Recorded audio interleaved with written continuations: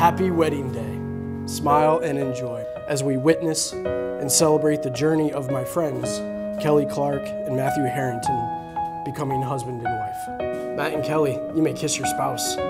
Yeah.